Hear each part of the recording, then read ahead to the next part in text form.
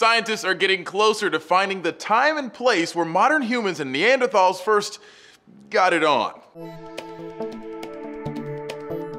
A new study in the journal Nature may have pinpointed one of the first places our two species bumped into each other, the Upper Galilee region of modern-day Israel. It's there that scientists found a skull fragment from a 55,000-year-old human, and finding a human skull in that place at that time told them a lot about how our ancestors migrated and maybe first met the Neanderthals. Research has already given us a few things that back this story up. Neanderthals were known to live in the area at the time. Humans are thought to have left Africa around 60,000 years ago by way of the Middle East. And we know the two groups met at some point and interbred. There seems to have been an overlap between those modern humans who came out of Africa with the Neanderthals. That overlap might have been 10, 20, 30,000 years. Modern humans, particularly Europeans, have genetic markers linking them to Neanderthals. Commercial testing can even tell you what percentage of your DNA is Neanderthal. A study last fall looked at the DNA of an ancient leg bone and calculated that the first interbreeding took place between 50 and 60,000 years ago.